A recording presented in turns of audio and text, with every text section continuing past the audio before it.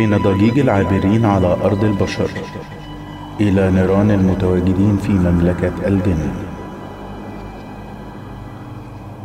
اتشكلت ألوانها ونسجت خيوطها ورسمتها قوى الشر الغاشمة. ومن هنا بتبتدي قصتنا كتبها لنا محمود الجايدي أنا اسمي يحيى. في أواخر الثلاثينات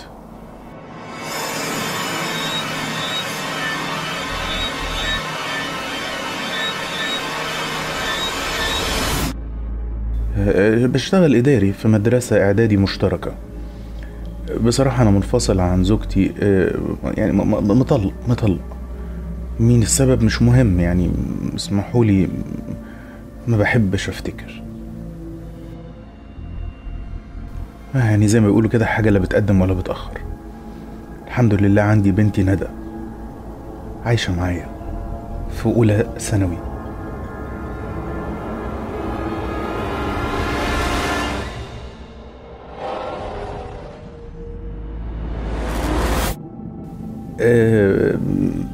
تقدروا تقولوا مامتها هي اللي قالت لي خليها عندك. وبرغم كل حاجة ندى بتمثل ليا كل حاجة وأهم حاجة في حياتي. يمكن هي عوض ربنا ليا عن كل حاجة. وكمان قطتي القطة الب- البيضة الجميلة بتاعتي. بتسليني في الأوقات لما بتكون ندى راحت عند مامتها كل فين وفين يعني. ماديا متواضع لأقصى درجة. الشقة إيجار قديم.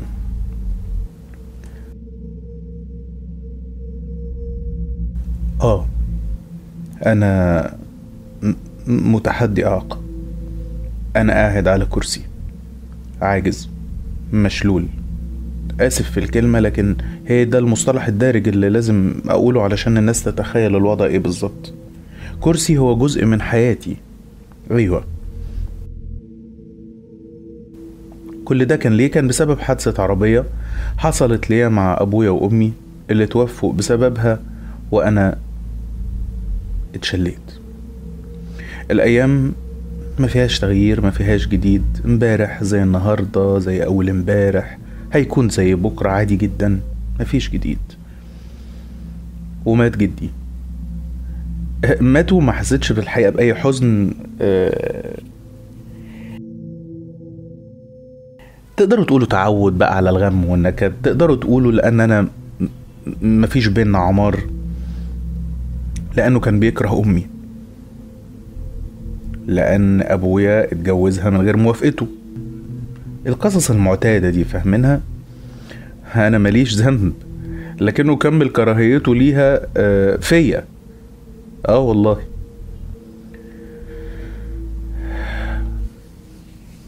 اتحركتش من البيت. لا جنازة ولا عزاء ولا أي حاجة. ومسحت الخبر من دماغي زي ما كنت ماسح الشخص نفسه من دماغي. عدى كام يوم وكانت الساعة عشر الصبح وسمعت خبط على الباب.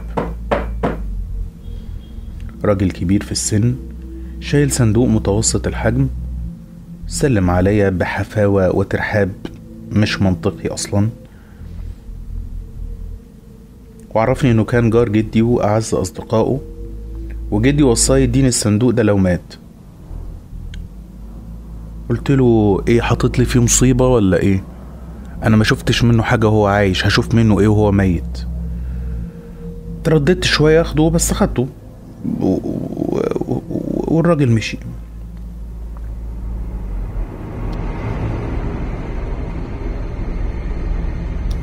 خدت صندوق ودخلت خفيف شبه فاضي. فتحته لقيت آه، لوحة ملفوفة بقماش أسود قديم. خرجت اللوحة من اللفة بتاعتها. اللوحة متوسطة الحجم في حدود آه، متر في نص متر مثلا. مش مرسوم عليها حاجة كانت بس عبارة عن صفحة مدهونة باللون الأسود. كان آه، لون تحس إنه بيمتص كل حاجة حتى الضوء. فقت من أفكاري على صوت ندى لما رجعت من المدرسة وكانت الساعة 3 الظهر.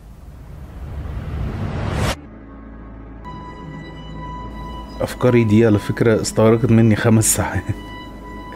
معرفش عدوا إزاي. تخيلوا قاعد ببص على لوحة خمس ساعات عدوا عليا دقايق. قطت اللوحة بالقماشة اللي كانت عليها وحطيتها في أوضة صغيرة بستخدمها للتخزين.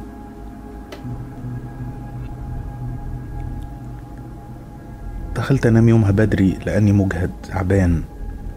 من غير سبب على فكرة معرفش إيه سبب التعب. فتحت عينيا في نص الليل على همس. افتكرت إن ندى بتكلم حد من صحابها في الموبايل وموطية صوتها علشان ما تزعجنيش بس الصوت بدأ يعلى لدرجة إن أنا حسيت إن اللي بيهمس ده قاعد جنبي. الدنيا كانت ضلمة كحل. لكن في وسط الضلمة لمحت حاجة جنبي على السرير. تكوينها بيقول تكوين ست عجوزة محنية الظهر. شفتها في الضلمة إزاي؟ عادي. ده لما بتقعد في الضلمة كتير عينك بتاخد عليها وممكن تشوف كل حاجة في الضلمة عادي جدا. مخضوض مرعوب خايف كل دي مترادفات للي أنا كنت فيه. اتحركت وقامت وقفت. وصدر منها صوت أقرب لفحيح التعابين.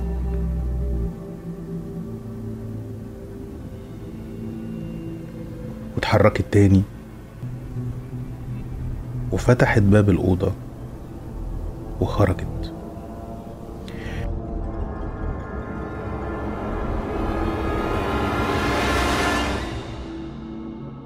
فتحتها لباب الأوضة دخلت زي ما بيقولوا سرسوب نور كده من بره. خلاني أشوف وشها حاجة كده من اللي قلبك يحبها يعني. اتجمدت أكتر في مكاني كنت بتابعها بعناية.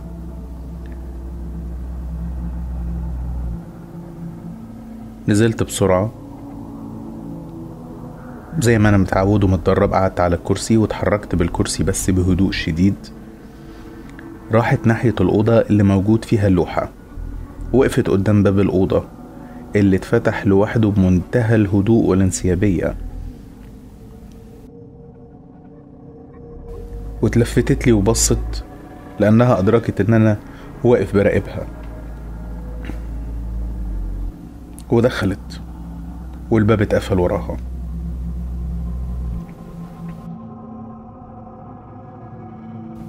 ناديت على ندى. ندى جت بسرعة نورت نور الأوضة. قالت لي أنا وشي أصفر جدا وعرقان طلبت منها تناولني كوباية مية. أنا ما كنتش نادي بنادي عليها علشان أه تجيب لي حاجة الحقيقة. أنا كنت عايز أطمن إن بنتي ما شافتش حاجة وكويسة.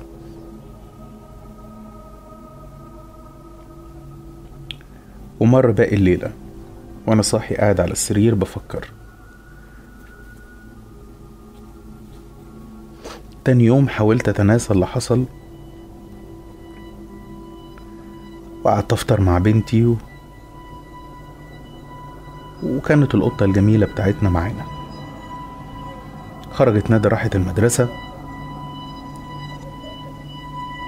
وأنا زي ما أنتوا عارفين شبه ما نمتش. فدخلت علشان أنام.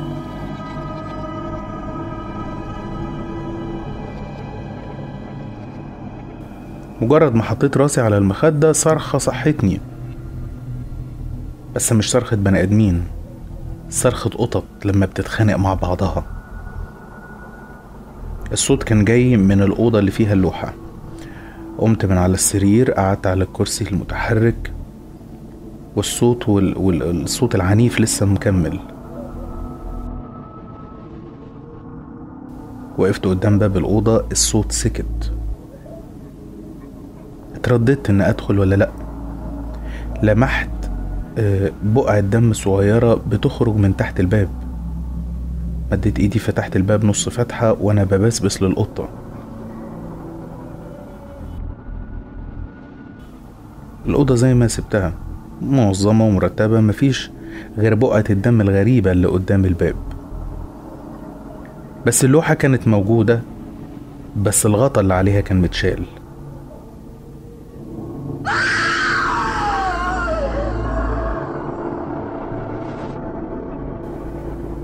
قربت منها. شلتها بين إيديا. ركزت معاها. شفت حاجة غريبة. شفت بقعة بيضة.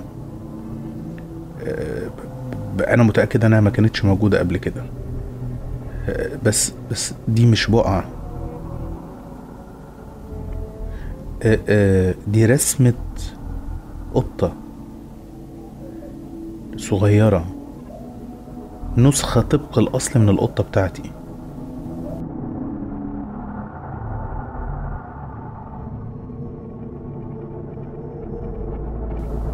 غريبة.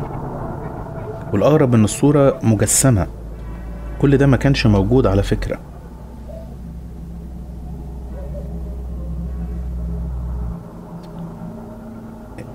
لكن معرفش ده بقى يعني تهيؤات ولا إيه؟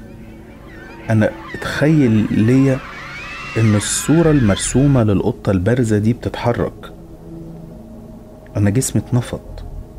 اللوحة وقعت من إيدي. ومع الحركة المباغتة اللي أنا عملتها اتقلبت بالكرسي ودماغي اتخبطت في الأرض. وسط ده شايف دخان أسود بيخرج من اللوحة.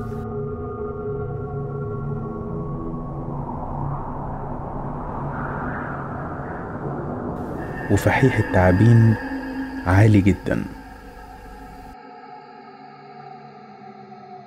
ومن وسط الدخان كان بيتجسد.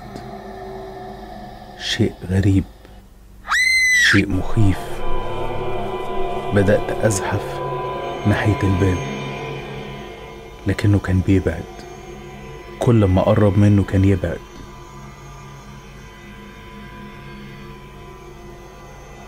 فضلت أزعق وأصرخ لكن مين هيسمعني؟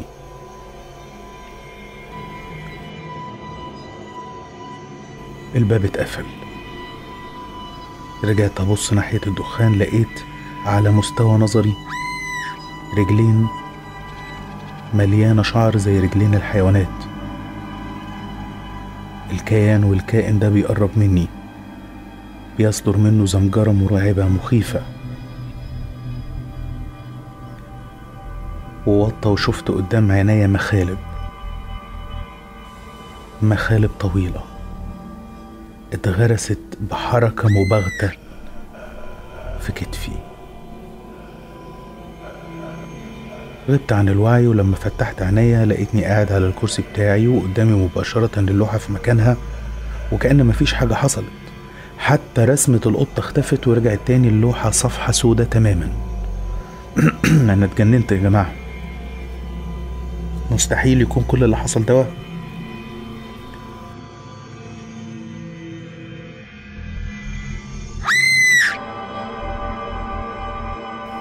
ما فكرتش كتير لأني لمحت حاجة بتلمع من آه، ورا اللوحة. وكانت المفاجأة لقيت قطعه ذهب زي ما بيقولوا الذهب يذهب العقول. الفرحة نستني كل اللي حصل. خدت قطعة الذهب وخرجت وقفلت الباب على اللوحة كويس. ندى لما رجعت لحظة توتر ممزوج بخوف وفرح. بصيت لي وقالت لي مالك يا بابا في إيه؟ طلبت منها إنها تروح تقعد كذا يوم مع والدتها علشان في حد صاحبي جاي من بره ومش هينفع تكون موجودة هي في البيت وهو هيقعد معايا يومين. فعلا ندى سافرت وقالت لي مش مشكلة مش هروح المدرسة الكام يوم دول عادي. وبقيت في البيت لوحدي. أنا واللوحة. اشتريت كتاب رسم وحاولت أفهم أصل اللوحة دي أو حتى بتعبر عن إيه لكني ما وصلتش لأي نتيجة. كنت قريت قبل كده عن أسطورة لشخص حبس روحه جوه لوحة مرسومة. كان أي آذى يحصل له الصورة بتتكلم عنه. أما هو فبيفضل شاب على طول؟ كانت حاجة كده اسمها صفقة. وعملها الشخص ده مع الشيطان.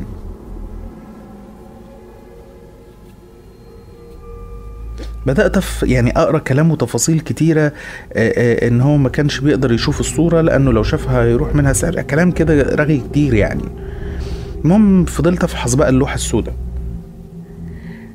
المرة دي لقيت خمس حروف لاتينية مكتوبة بخ... بخط صغير أسفل اللوحة. تقريبا ده توقيع الرسام اللي رسمها.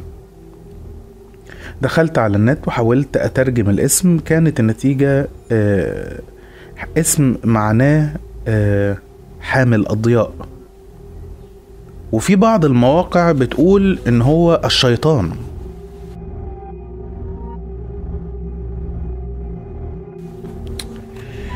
قعدت أفكر بالساعات قدام اللوحة وأبص للسواد اللي فيها وأروح في عالم تاني. لحد ما في يوم الباب خبط. لقيت منصور آه منصور ده بالمناسبة بلطجي عايش معانا في الشارع.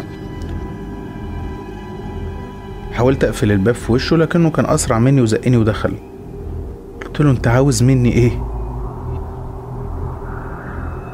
قعد يراوغ ويتريق. ويقول لي لاقيني ولا تغديني. ودخل وفتح التلاجة بمنتهى قلة الأدب وقلة الذوق وخرج طبق فاكهة وقعد ياكل. أنا لا حول لي ولا قوة أنا مش عارف أعمل إيه. اللي فهمته إن هو جاي لي من طرف صاحب البيت برسالة إنهم عاوزيني أمشي أخرج. طبعا أنتوا عارفين إن البيت إيجار قديم ومشياني منه هيبقى مصلحة كبيرة. البيت بيحتل ناصية مميزة آه وبيساوي ملايين. قلت له أنا قلت مليون مرة مش هينفع. أنا راجل عاجز وبنتي أوديها فين؟ رمى طبق الفاكهة في الأرض وقال لي بمنتهى قلة الأدب إني أروح في ستين داهية وإني هخرج على رجليا المشلولة وضحك أو على نقالة وإن أنا قدامي أسبوع واحد أدبر فيه أحوالي. وهو أكد عليا كمان إن أنا لازم أكون عارف إن بعد الأسبوع هو هيقدر يعمل فيا إيه. الساف القليل للأدب في الآخر قال لي ابقى سلم لنا على القمر بنتك.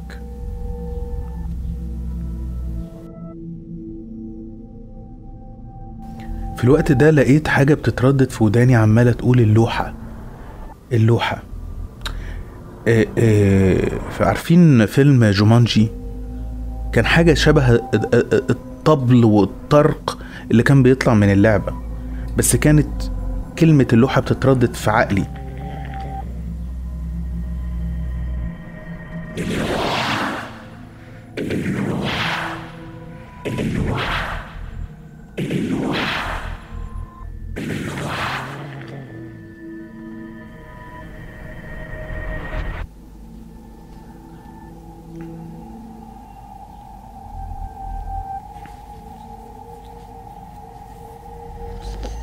نظرات منصور بتؤكد إن أنا الوحيد اللي سامع وهو مش سامع أي حاجة. فسألته أنت سامع حاجة؟ تريق عليا كالعادة. كان قايم يخرج بعد ما يعني رزع لي كمية التهديدات. قلت له طيب تعالى معايا.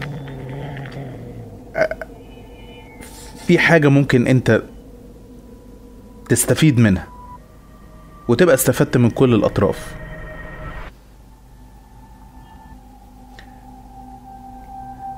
طريقتي في الكلام العبيطة بتاعتي حسسته إن أنا عامل له فخ. فضحك وقال لي تكونش فاكر إن أنت ممكن تعمل لي حاجة؟ يا عاجز. وراح بمنتهى العنجهية ناحية الأوضة. فتح الأوضة ودخل. وأنا غمضت عينيا وأنا مستني أسمع صرخات لكن منصور عمال جوه ينادي عليا بغيظ ويقول لي عاوزني أشوف إيه. فضلت أعمل زي اللي بيرشده وقلت له في لوحة. قال لي آه. شايفها؟ بس. وبدأت تتعالى أصوات صرخات. وسمعت منصور بيستغيث وكأن في معركة شرسة دايرة جوه. ما خدتش أكتر من عشر ثواني. أنا واقف في مكاني مش مستوعب إيه اللي بيحصل.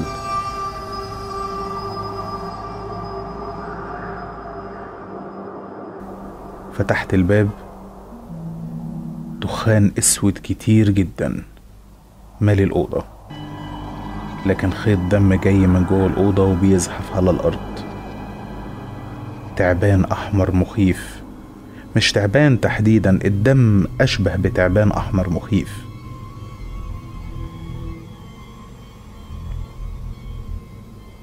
شديت باب الأوضة وقفلته تاني. من الخوف. الليلة دي كانت أطول ليلة قضيتها في حياتي بجد.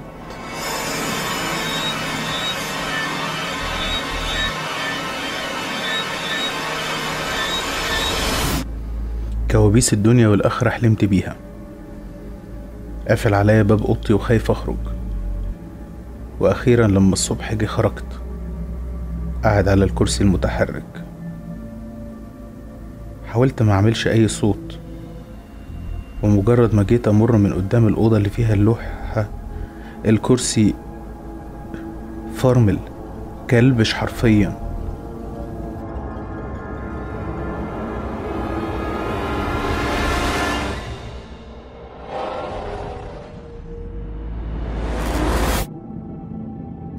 واتفتح الباب أشبه بباب التربة.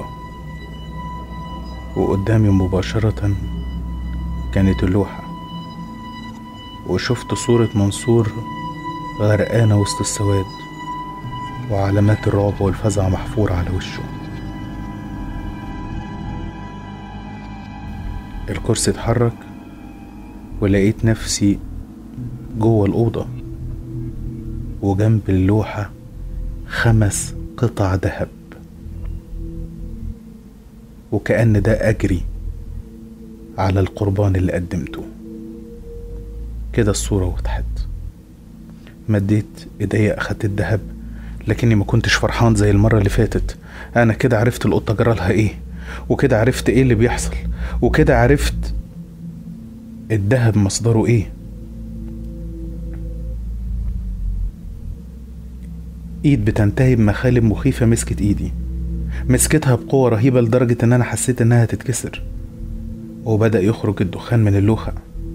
جدران الأوضة كأنها بتتفحم. ورق الحيطة اللي عليها بيتفتت ويطير في الهواء زي خفافيش سودة بتدور على الدم. والشيء اللي ماسك إيدي خرج وظهر. كائن بشع أقل وصف أقدر أوصفه بيه إنه شيطان. ليه قرنين ضخمين وعينيه مشقوقة بالطول زي عينين التعابين. رجليه عبارة عن زوج من أقدام الغنم بتنتهي بحوافر سودة جدا. الدم بيقطر ما بين أنيابه من غير توقف. ريحته هي ريحة الموت. لو أنت ما تعرفش هي إيه ريحة الموت. ريحة. مش الريحة بتاعت العفن. لا لا لا لا لا لا. ريحة الفقد. الحزن الألم ريحة المقابر القديمة أنا عرفت إن أنا كده أنا الدور عليا إن أنا أكون القربان.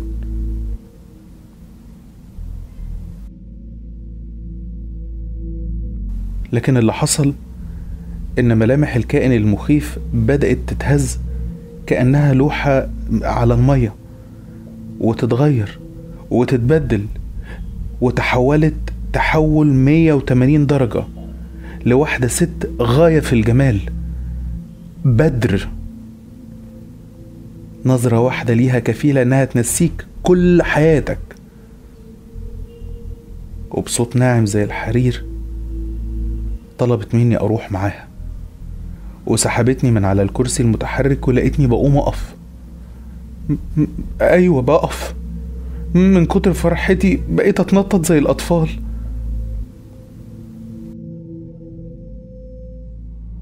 وقالت لي إن دي الهدية المتواضعة اللي ومشيت قدامي في اتجاه اللوحة وهي بتقول لي إن أنا أمشي وراها.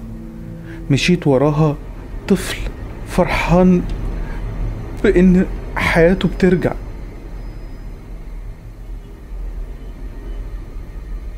واخترقت اللوحة وأنا وراها. وفجأة أصبحنا فعلا جوه اللوحة. سواد هائل قدامي ورايا و... وعلى يميني وشمالي وفوقي وتحتي.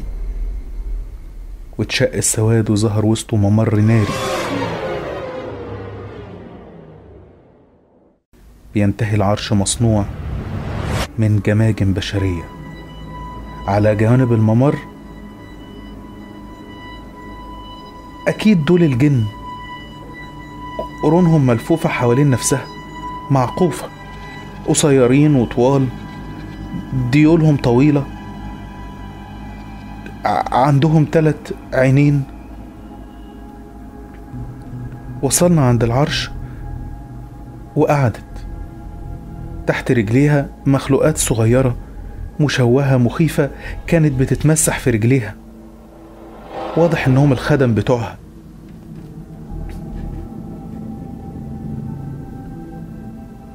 وبدأت تتكلم علشان أعرف إنها مش شيطانة. اسمها قنديشة. اتولدت وعاشت في قبيلة من قبائل الصحراء. كانت أشهر وأقوى القبائل. بيقدروا يسخروا الجن ويستخدموا السحر الأسود بكل أشكاله وأصنافه. لما بقت قنديشة شابة كانت أجمل مرأة في زمانها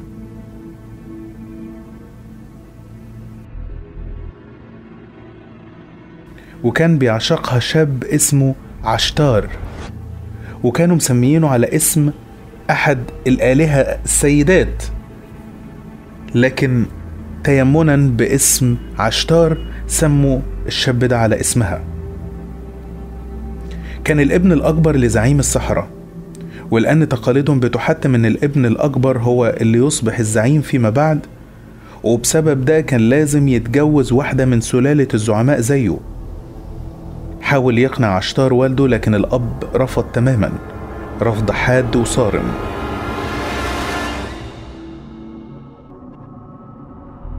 بتكمل برضو قصتها وبتقول لي إنها كرهت الزعيم وفضلت تلومه إن هو السبب.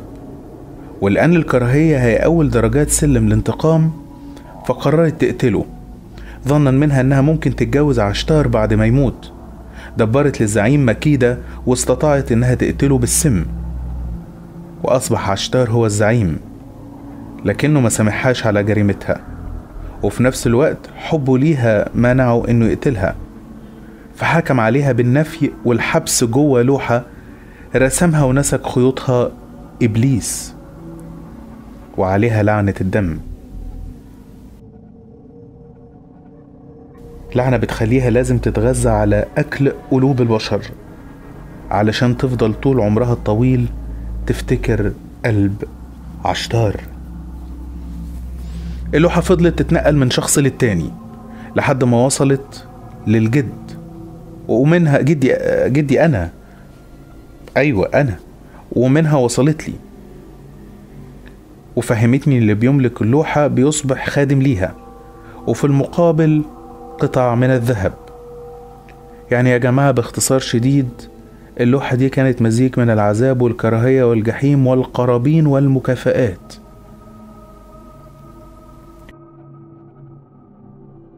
خلص مقابلتي مع قنديشة وخرجت بعدها من العالم الأسود وخرجت أنا كمان.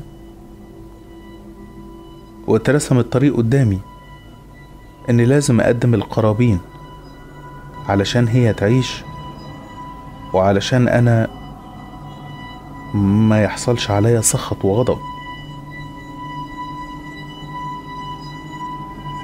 فكان القرار إني قررت أعمل لها المأدبة الكبيرة. خرجت وبدأت أعزم كل حد كان سبب أذى ليا في يوم من الأيام. وكانت حجتي إن أنا خفيت وبقيت أمشي. العزومة كانت عشرة. حضر سبعة وتلاتة رفضوا أول الحاضرين كان صاحب البيت اللي كان نفسه يطردني واللي اتصدم صدمة عمره لما شافني بمشي. اشتريت ليهم أكل من أحسن مطعم في البلد. ولما انتهوا من الأكل طلبت منهم يدخلوا يشوفوا اللوحة الجديدة اللي أنا رسمتها في فترة مرضي.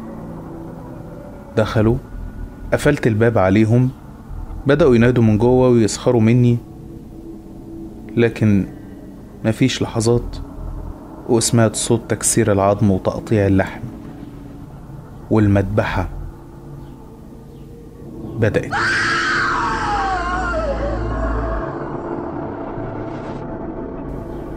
كان نفسي أدخل أشوف اللي بيحصل لكني ما قدرتش. استنيت لحد ما كل حاجة خلصت ودخلت وعلى الأرض لقيت في انتظاري كوم من الذهب. أنا دلوقتي غني مش محتاج حاجة لكني أكيد عايز دهب كمان. أنا هخبي الدهب ده وهعمل وليمة تانية وأخد بسببها كوم تاني من الدهب أصرف منه.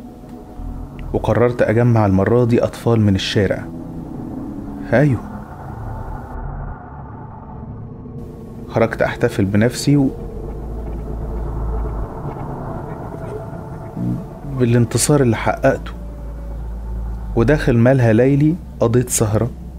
شربت وسكرت ورجعت البيت حرفيا بتطوح. أنا ده مش طبيعي على فكرة. لقيت باب الشقة مفتوح. قلبي اتنفض.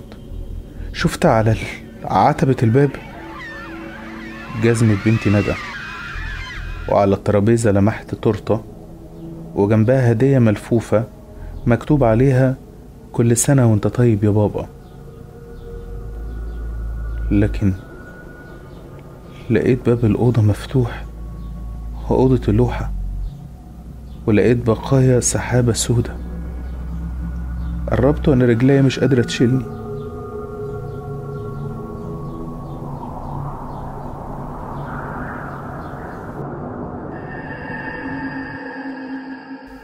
دخلت. ما لقيتش حاجة. جريت بصيت على اللوحة.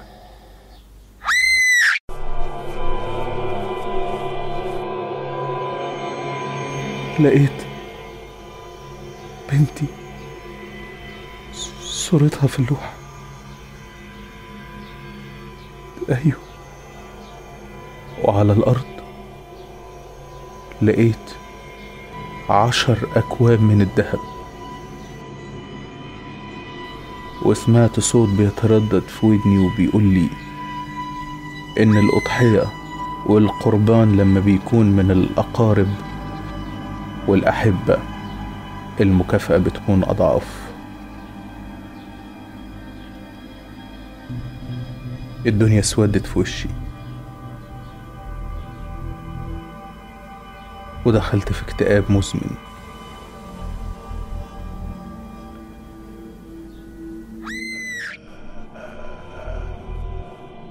وفضلت تظهر لي وتطلب مني قرابين. ما بقتش عارف أعمل إيه. بدأت أفكر إن أنا لازم أنتقم.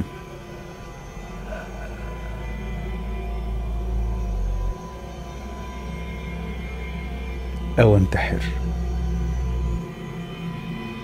بس هنتقم إزاي وهنتحر إزاي؟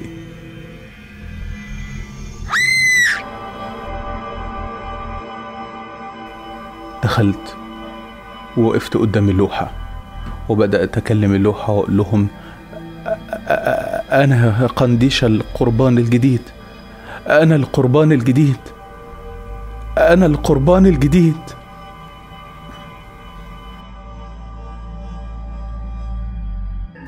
لقيتها ورايا وبتضحك وبتقول لي إن خادم اللوحة مستحيل يكون قربان ليها وإن الوقت بيجري وانها جعانة ومحتاجة قرابين فورية وإلا ما استنيتش أسمع وإلا إيه. أصل هيحصل أكتر من اللي حصل إيه. لكنها وعدتني إنها ممكن تخرج بنتي من اللوحة وترجعها لي. زي ما بيقولوا تهللت أساريري لما سمعت العرض ده. وترجتها. ووطيت على الأرض أبوس رجلها وأطلب منها تعمل ده. لكنها قالت لي إن في شرط. شرط يجب تنفيذه. لازم أقدم ألف قربان في أيام متتالية. والألف يتجمعوا في أسبوع ما يزيدش يوم ولا ينقص يوم. وبعدها ندى تخرج من اللوحة من جديد.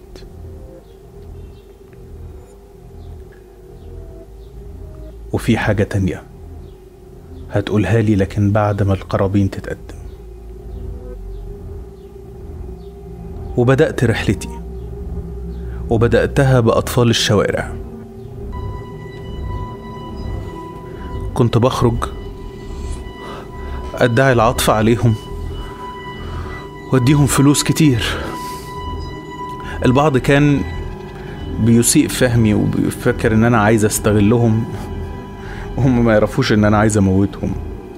فكانوا بيرفضوا يجوا البيت والبعض كان بيوافق.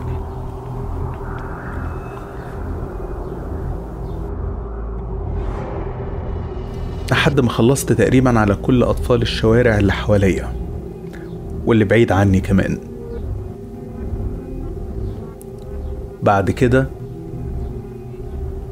خيالي المريض خلاني أروح لدار أطفال دار رعاية أطفال ملهمش مأوى وأيتام. وعزمت الدار بالكامل. أجرت عربية فاخرة جدا وادعيت إن أنا رجل أعمال وإن أنا فاقد أسرتي بالكامل. وكل مدة بعمل حفل في البيت بتاعي وبحب الأطفال تكون موجودة فيه. أخدت الدار بأطفالها بمشرفينها وموتهم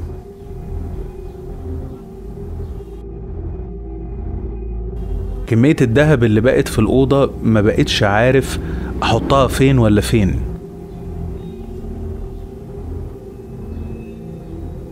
لكني افتكرت حاجة.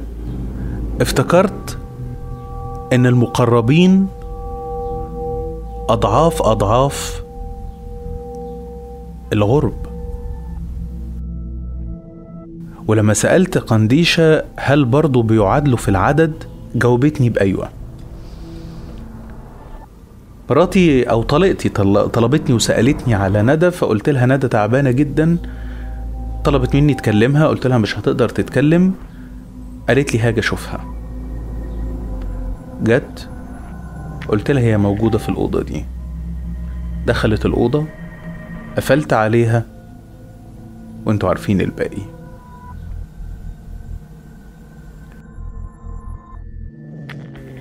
كل يوم كنت بفكر وببتكر ناس جديدة أدخلهم. بعد كده بدأت أجيب زمايلي. أيوة. وأصدقائي.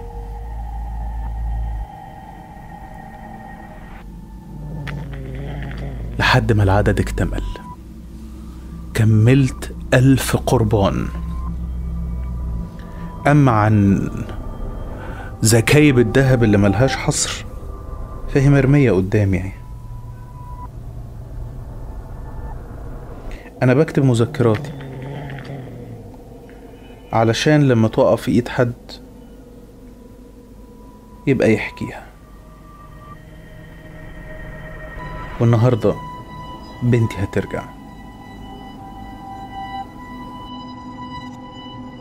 ومعرفش إيه الخطوة اللي ممكن اعملها بعد كده. هل هتكمل؟ طبعا هي هترجع عارفة كل حاجة. ولا هل هنبدأ نفكر في وسيلة للقضاء على هذا الشر اللعين؟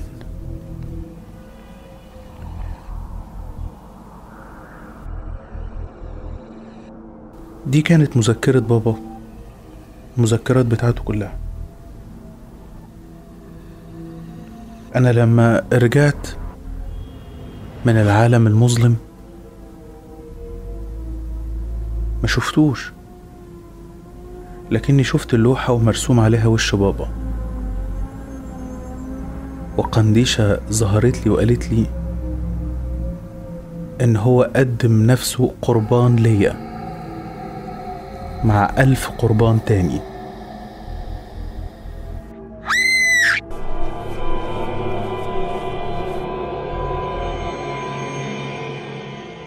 وإن هو كان استكمال القرابين لازم يكون بيه. وإني لازم أكمل اللي هو بدأه.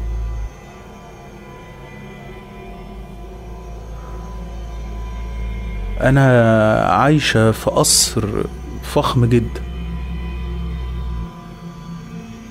لكني تعيسة حزينة. إذا كان بابا قتل فوق الألف أنا لحد دلوقتي مقدمة فوق الخمستاشر ألف قربان. أنا طورت طريقتي. أنا بقيت أخد اللوحة معايا لأماكن بحيث تقضي على كل اللي موجودين فيها بالكامل. أخدتها مدرسة وأخدتها شركة وأخدتها احتفالات كبيرة. وأخدتها تجمعات سياسية كبرى. كل اللي الناس كانت بتبقى متضايقة منه حتى في الرأي العام أنا بخلصهم منه.